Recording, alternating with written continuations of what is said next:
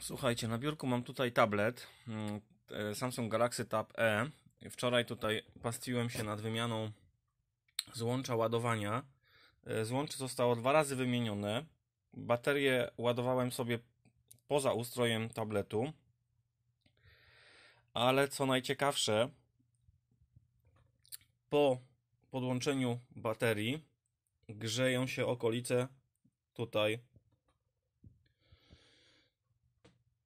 układu. Teraz jest tablet na zimno. W zasadzie, o tu widać moją nogę, jak różnica temperatur się rozkłada, bo to podchodzimy rano. Ja sobie za chwilę włączę ten tablet, podepnę baterię, bo to nawet bez ładowania.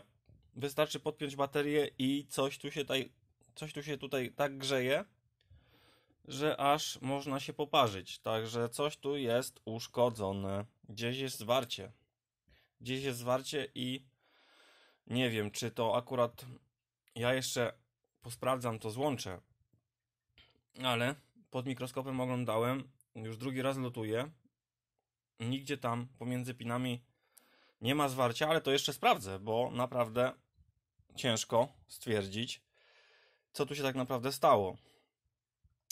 I zobaczę, potwierdzę sobie jeszcze, czy yy, złącze mam na 1000% sprawne, no ale y, jest wykrywalne podłączenie y, przewodu ładowania, więc y, tablet pokazuje, że się ładuje, a się nie ładuje, raczej się rozładowuje. A więc zaraz sobie go tutaj podepnę tą baterię, zobaczymy jak się rozkładają ciepła i gdzie to się tak tutaj grzeje.